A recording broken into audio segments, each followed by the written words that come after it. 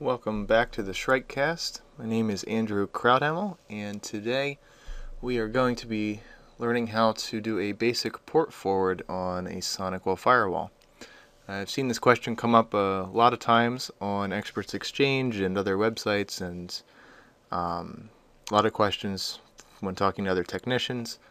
Uh, SonicWall uses their own terminologies at times uh, for certain things, and people aren't used to it. And since a SonicWall firewall is a true zone-based, object-based firewall, uh, it's it's more advanced and there's a little bit more involvement uh, than just going into your standard modem slash router that you may be used to and just typing in some port numbers. So, talking about um, zone-based and object-based firewall. Uh, SonicWall as well as Cisco and some others, uh, they are object-based and zone-based. So what that means is, at least from what we're going to be doing today, the objects, everything in the firewall is an object. Uh, if it's a network object where you have an IP address of some sort or a DNS name or something like that, we've done that in the other videos, or you can have service objects, uh, which are port numbers and protocol types. Uh, so every every port, every protocol, everything has to have an object created for it. And then you can create groups of those objects and do fun things with them. So what we have to do, let's say uh, if we want to port forward some random ports, uh, we have like four or five different ports for making, setting up some VoIP phones or something like that. We're going to have to create an object for each one of those and then create a group to encompass those objects we created and then go through and do the port forward. So we have, we have a little prep work to do first if you're doing something that's um, that's custom. So when you go to firewall service objects, you see here that we have some service groups and there's a bunch that are built in. SonicWall provides you with a bunch of groups and objects. There's hundreds of them. Uh, that usually you know takes care of most of the stuff that you have to do. So if you if you need to port forward something, there's a good chance there's a service object for it, unless you have a very custom application or like a VoIP phone or something like that that you know has its own custom port ranges. So if we scroll down, we'll have our services. So each one of these services we have to create for whatever ports we want to forward.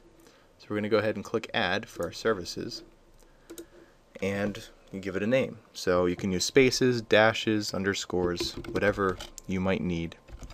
Uh, and I like to put the protocol I'm going to be using in the name. So let's say I'm doing TCP. Uh, and we're going to do port 8000. So I make it easy to find. Next we're going to choose the protocol type. I called it TCP, so for some reason I may need port 8000 TCP, and then we type in what those ports are. Uh, if you have a range of ports, say a vendor says you need to open up 8000 to 8010, well you can simply do that in the port range and have one object that does a range of ports for you. You don't have to make 10 objects for every single separate port.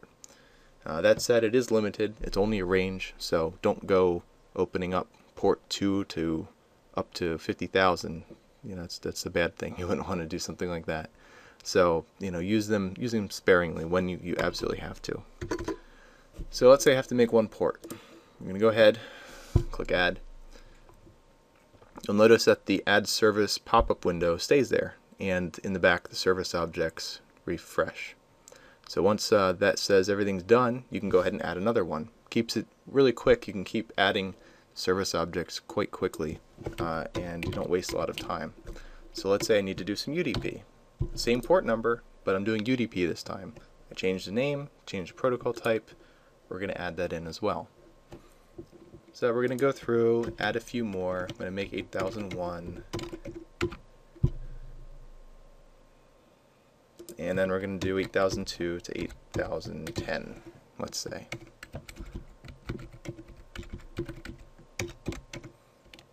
Okay, so now we've made some objects.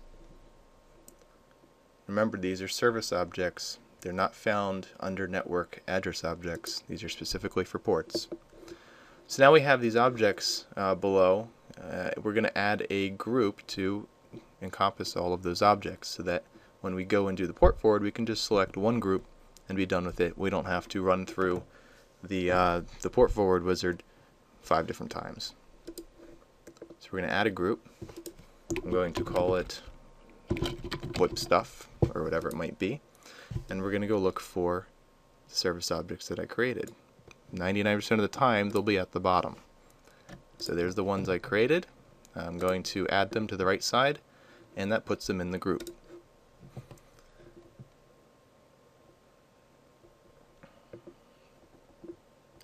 Then if we scroll down on our service objects, you'll see there's our VoIP stuff group, and here's all of the ports that are within it.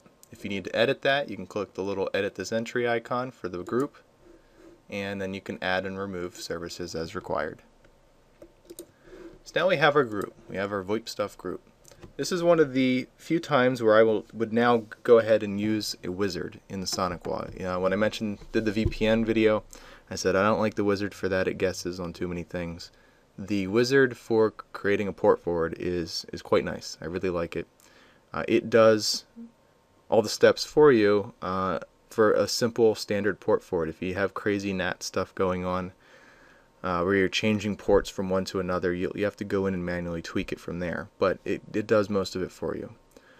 Uh, the nice thing about it is because in the SonicWall firewall, you have to create firewall rules, inbound, outbound, to allow the traffic. You have to create add uh, NAT rules to translate the ports in the public and private IPs.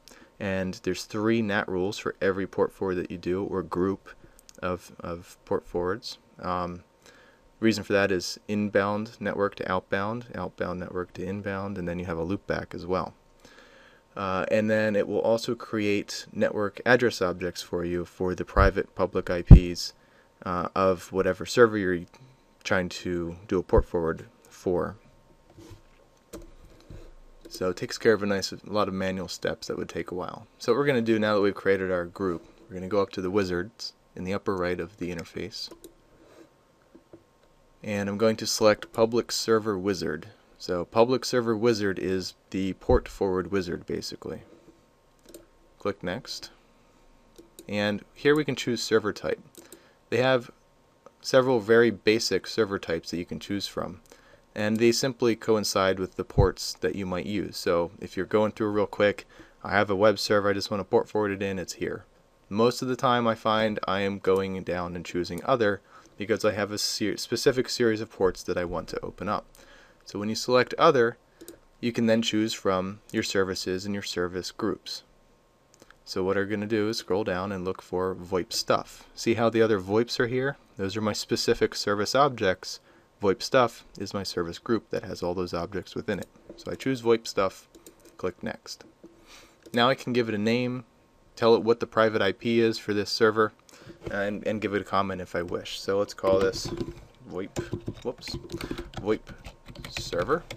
And on this guy, it's going to be, let's see, 2855.222. And a typo. There we go. And I'm just going to leave comment empty because it's fine. Click next. It'll have your public IP.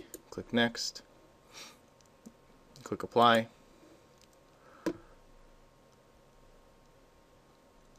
And there you go. Congratulations, you've created your port forward. So now if we go in and we look at our NAT rules, you'll have three new NAT rules for that. You'll have some uh, network objects for that. Uh, they'll, they'll have private public names within them. Uh, and we'll have some firewall rules created for that that are automatically generated. And in the future, we'll have some more advanced tutorials on how to go about doing port translations and things like that, or, or translating to different IPs while you're doing a port forward. Uh, but for now, that um, that's what I wanted to cover, just a basic how to use the wizard port forward. And uh, so thank you for viewing. Uh, check out my blog at andrewcrouthamel.com.